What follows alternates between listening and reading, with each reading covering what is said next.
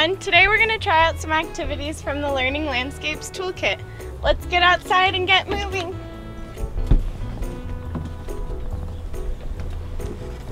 Before we get outside, let's make sure we go over the questions on the safety page.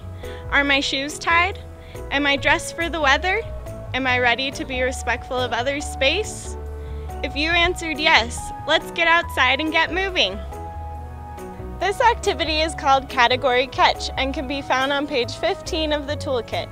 It can be played before and after school, on the blacktop outside, and you'll need at least one ball. Have the players form a large circle on the blacktop. Have the leader choose a category such as fruits. The players will pass the ball until they run out of words in the category.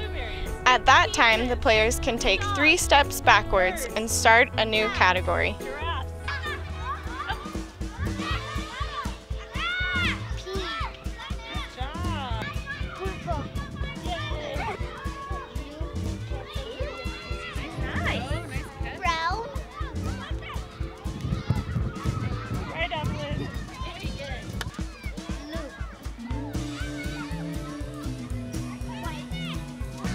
somebody new.